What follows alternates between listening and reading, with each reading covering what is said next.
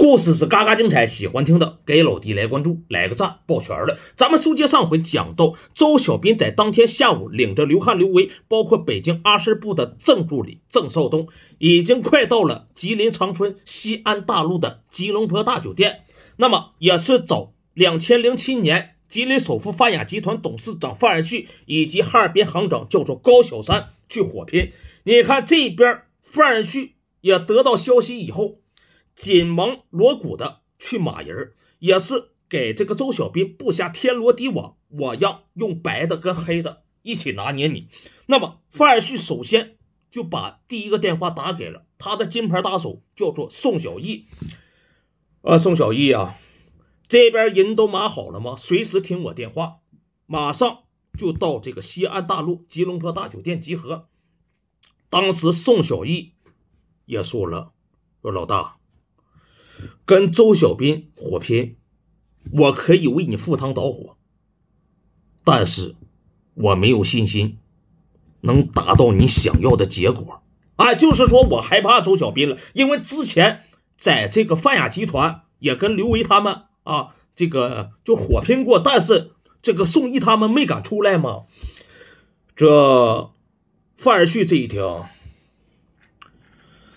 那也得准备。这样，大哥，我已经找好人了，也是咱们长春一个比较有名的，而且不怕死的，叫做能活到两千零七年的一个大哥，叫做郝树春。这范旭这一听，郝树春，我好像略有耳闻。他有不怕死的兄弟吗？说有。这样，马上让他。来到西安大路吉隆坡大酒店来见我，多钱我拿，啪嚓这么一挂，你看宋义直接就托关系找到了这个两千零七年这个长春的大哥，叫做郝树春嘛。这边郝树春也是当时在外五县卖什么虾爬子、冰虾的啊，跟兄弟们啊，当时也是混的啊，也是风生水起嘛。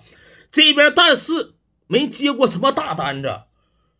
这当时小弟过来了，大哥，大哥来大单子了。我怎么了？这边就说了，吉林两千零七年首富泛亚集团董事长范二旭要找咱们去干票大的，在西安大路吉隆坡大酒店。这郝树顺这一听，卖什么瞎爬子这那的，走走，叭叭，你看开了两辆破面包车，拉着七个兄弟，叭叭，也就来到了吉隆坡大酒店这边。一来到这个包房内东南角，一看坐的一个非常有气派的一个男人啊，这就是范旭。那你看郝树春也是在电视上看见过范旭，这一看，直接领着兄弟们过去了，是吧？你好，您就是吉林首富泛亚集团董事长范旭吧？范旭说：“你好，你就是郝树春。”说我是郝树春啊，郝树春也不会说什么话，但是也想极力的奉承，说今天终于见到本人了。您也是咱们吉林啊这个龙头企业的标杆啊。那个听说您走您找我，范二旭说这样，你也挺会说话的，但是我今天不是。来听你磕磕绊绊的说些奉承话的，我知道你们混社会的都很亡命徒子啊啊！是的，这边呢，在吉林长春有一个人让我很不舒服，我想让你们帮我搞搞他。啊，说可以的，这边你开价吧啊，您范总。是吉林的首富，你说多钱都行。这样，一百万，太可以了啊！一听一百万，说不愧是吉林首富泛亚集团董事长范范总啊！这边怎么干？首先呢，我想让他一辈子坐轮椅啊，就是腿给掐死了呗。是的。必要的话，你舍一两个兄弟，也是可以的。这郝树春这一听，我舍一两个兄弟，这事儿就大了。您范总是说可以要他的命？我没有说，我没有说找你销户。这样，范总，我也不会说你找我销户，销户的五百万。范二旭当时这一听五百万，他就想起来了，当时在这个吉隆坡大酒店找的那个马来西亚伊克拉姆小莎莎，在那个跟周小斌他们火拼的时候临阵脱逃了，后来给佳佳没跑吗？但是也是生死未卜。范二旭当时心里就有点嘀咕了，说：“这样吧。”我给五百万可以，怎么怎么怎么回事你们绝对不能跑。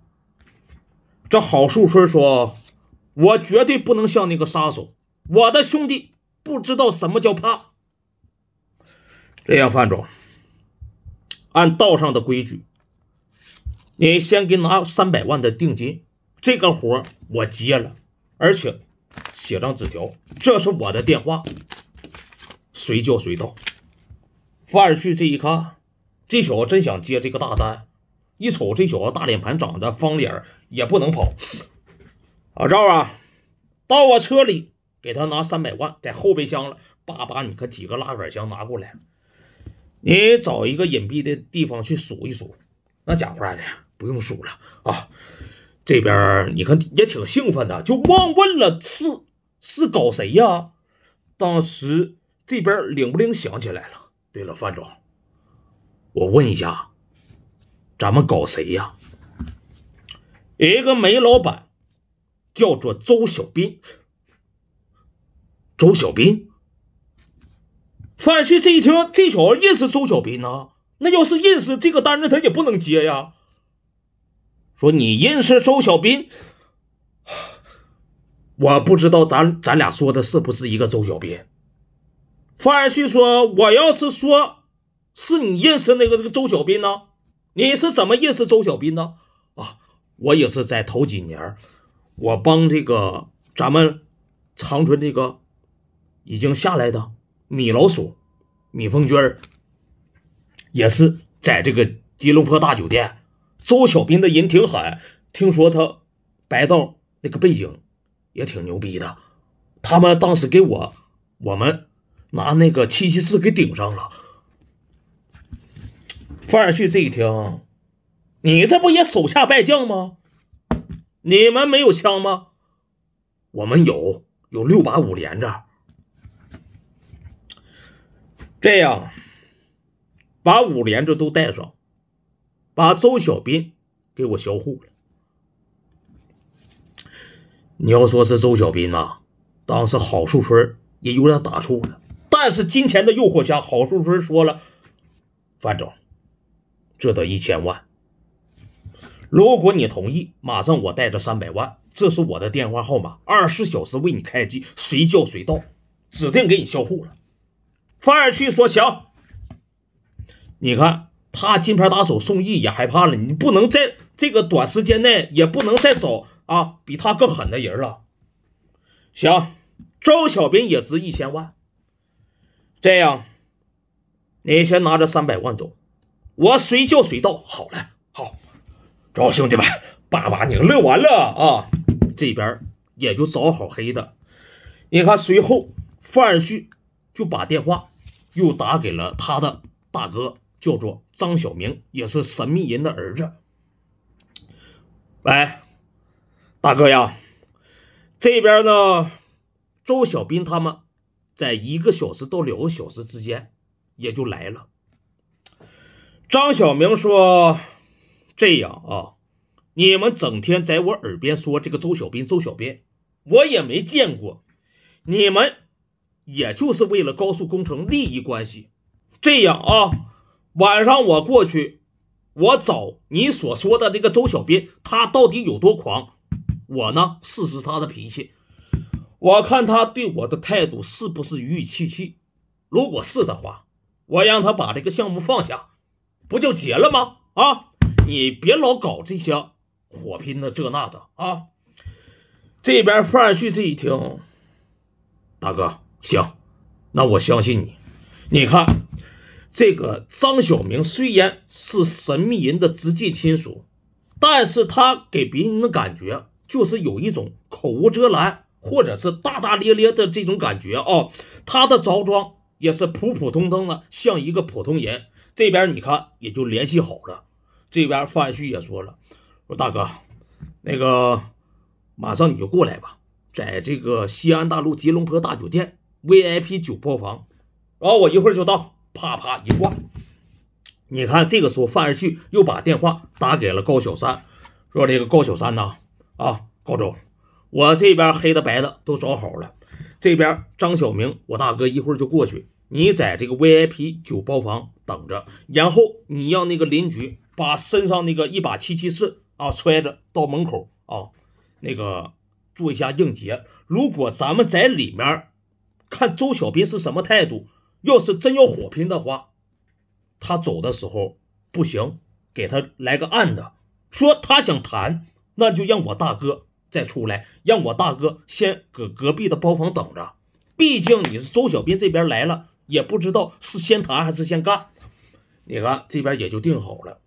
随后呢，咱们再把视角转回到周小斌这边。周小斌这边呢，到了这个吉林长春，也是当时走了一个饭店这边。补给一下，然后在这么傍晚六点钟，也就到达了吉隆坡大酒店这个门口。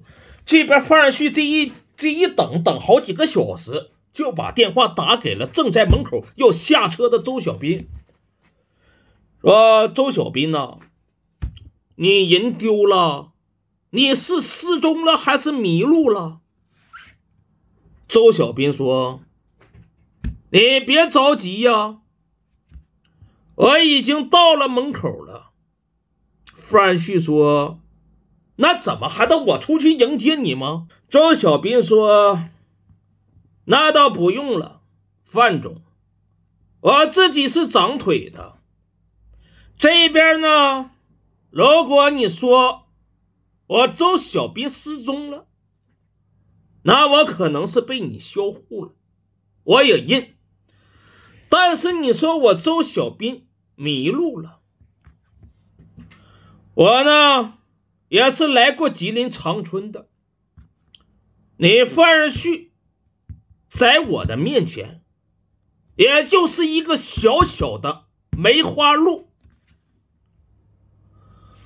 我是来吃鹿肉的。范二旭当时这一听，行了。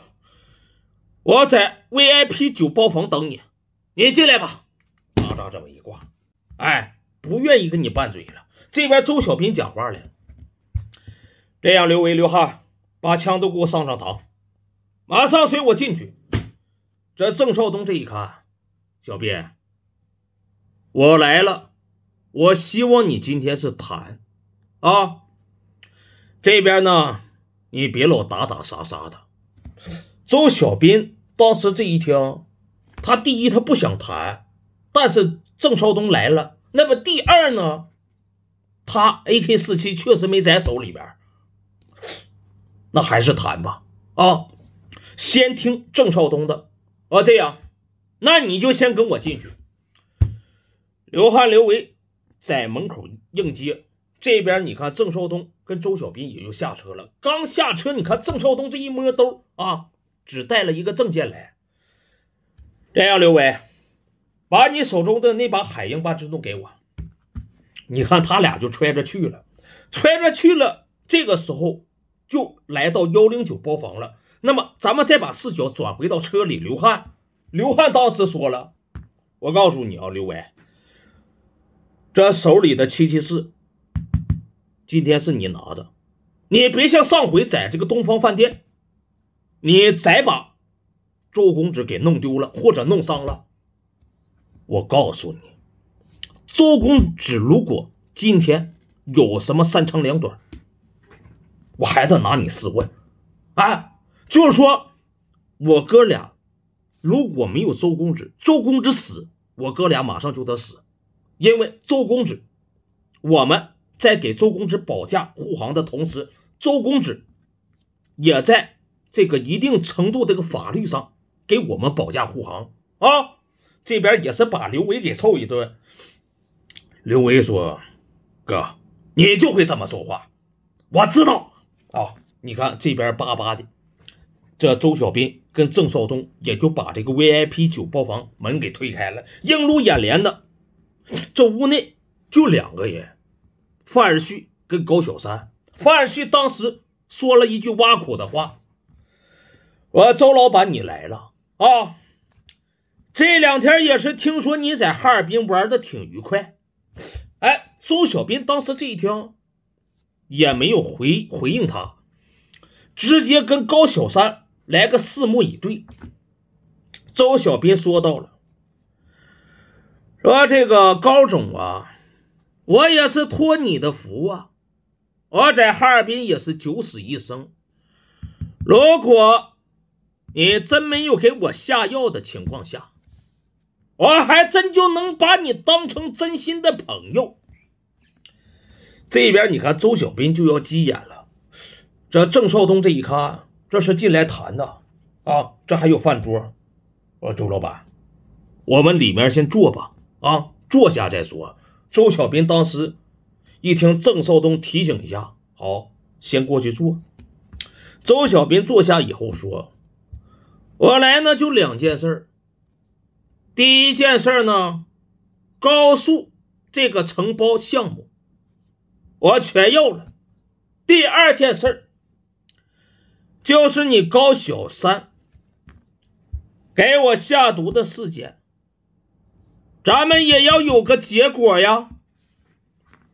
当时你看话音刚落，这高小三一拍桌子站起来了：“周小兵，我告诉你，你要的结果不是你死就是我亡。”这范二旭这一看，这周小斌首先进来是是要谈的，还有他身边这个人啊。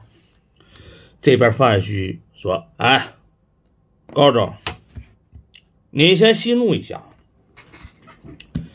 这边呢，周老板、周小斌，你说的这两个条件呢，我们俩说不算。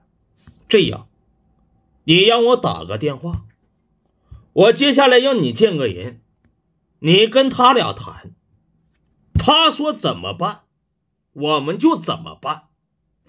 周小斌这一听，你打啊，你不就是啊讲话的？给这个吉林白道一把小王敏打吗？你给小王敏打，小王敏来了，我也是这个态度。范旭说：“，我还真就没必要找这个小王敏。”喂，大哥，周小斌来了，VIP 九包房，巴扎这么一挂。你看张小明这个时候。从隔壁包房啪嚓一脚就把门给踹开了。当时周小斌这映入眼帘的，和这小子身高一米八三，体重二百多斤，穿的普普通通的，何许人也呢？啊，这范二旭就找这种人来呀。当时你看，这张小明进来以后。他也是五马长枪的，简单直给嘛，简单粗暴。啊，这样来，我问你们俩，你们俩谁叫周小兵？这边周小兵这一看，哎呀，这哥们挺有意思的呀！啊，说这位兄弟，你找周小兵。张小明这一看，你搭话了，你就是周小兵呗。这样啊，这两天在长春呢，我耳边一一直响起驼铃声。再就是你周小兵，周小兵，你周小斌就这么牛逼吗？周小斌这一听，这小子五马长枪的啊，穿的普普通通的，他有什么能耐呀？但是挺有意思的。周小斌笑了，哎。啊，就是非常牛逼呀！你能把我怎么样？张小明这一听，你牛什么逼呀？啊，你爸爸不就是北京的老周吗？你这样，你给你爸爸打电话，让他跟我谈。你看你爸爸牛不牛逼？你爸爸遇到我，他也就不牛逼了。周小兵当时这一听，你把话给我说话，给我放尊重点你到底是谁？这边郑少东也在察言观色呢。这小子张小明这一看，我不亮，我爸爸是不好使了，对不对？张小明，你看从怀里直接掏出来了。既然你是特别想知道我的身份，来，啊，也是大大咧咧的啊，口无遮拦，叭把他那个全家福给拿出来了，他妈还有这个神秘人。还有他这张照片啊，唯一一张照片，往桌子上一拍，你看这边呢，就是让你看的意思。周小兵当时不屑一顾啊，就是你拿一张照片，对不对？我混社会混了三四年了，说哪有说拍出来 AK 四七，拍出来七七四，哪有说谈判的时候拍出来一张照片的？但是郑少东，咱讲话察言观色呢，把这个饭桌的大转盘一转，转过来了。郑少东拿着照片一瞅，吓一跳。这上边有神秘人，再这么一瞅，有一个女的，旁边就是这小子，而且这个女的跟神秘人岁数仿佛。当时郑少东就感觉这张小明不一般，用脚踢这个周小斌嘛。周小斌当时不屑一顾，这边紧着踢周小斌，把目光转过来了。郑少东把照片递给他了。周小斌这一看，照片上这个五大三粗这个小子就在照片上了，旁边就是神秘人，而且还有个女的正在搂着他呢。周小斌当时瞅着郑少东，就认为这是什么关系啊？郑少东说：“可能是全家福。”周小兵说：“这照片是真的假的？”郑少东呢，以前是原广东这个二十厅的，然后上调到这个正助理嘛，他有很多经验。这不像是假的，这也不像是 P 的。这边你看，张小明说：“看没看够啊？啊！我告诉你啊，人现在给你爸打电话。”你就问你爸怕不怕照片上这个男人？周小兵说：“这照片是全家福吗？这照片的男人是谁呀？”张小明说：“废那么话，全家福，全家福，你不知道吗？那是我爸。这样，你马上打给你爸。”然后呢，我随后打给我爸。如果说你爸不怕我爸，我他妈从这里边爬着出去。周小兵当时这一看，这小子挺嚣张的，又问郑少东了：“真的是假的？你敢百分之百确定吗？”郑少东也是破获这个张子强案件呐。他经验也是老道，百分之九十九点九是真的。你冷静一下。这边张大明又说了：“马上打给你爸，你要是不打，我打给你爸来。”这周小斌这一看，这五大三粗的，啊，确实有点把我镇住了，因为。照片上这个男人呢，他比我爸狠，是神秘人。这样，你老让我打给我爸，我打给我爸，我怎么说？我说你是谁？你，就问你爸认不认识张小明？周小斌这一看，好，我就打给我爸。当时周小兵这手揣着刀，这手拿着电话，直接起身走到了窗边，就要打给他爸了。你看这边张大明也是啊，给这个范二旭还有这高小三一人弄根华子，搁这拭目以待。这边。郑少东也是察言观色呀，这小子不一般。这照片，我刚才断定是百分之九十九点真的，这是百分之百真的了。你看，周小斌这个时候也把他爸的电话给打通了。那老周正在晚上六点五十五分钟，正跟公共情人汤小灿在一起。也是摸着大腿，也就接到了周小斌的电话。你看接下来又会怎么办呢？咱们下集见。